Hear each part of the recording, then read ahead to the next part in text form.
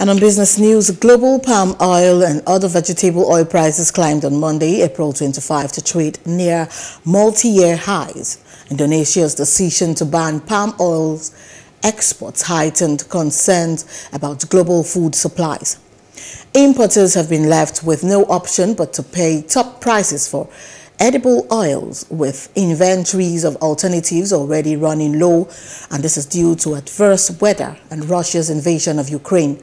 Prices of palm oil climbed more than 6% on the Bursa Malaysia Derivatives Exchange, inching closer to an all-time high reached in March.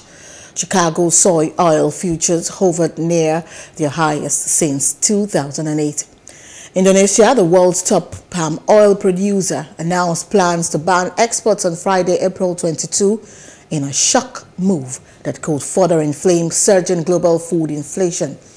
Indonesia accounts for more than half of global palm oil supply. Please do subscribe to our YouTube channel and don't forget to hit the notification button so you get notified about fresh news updates.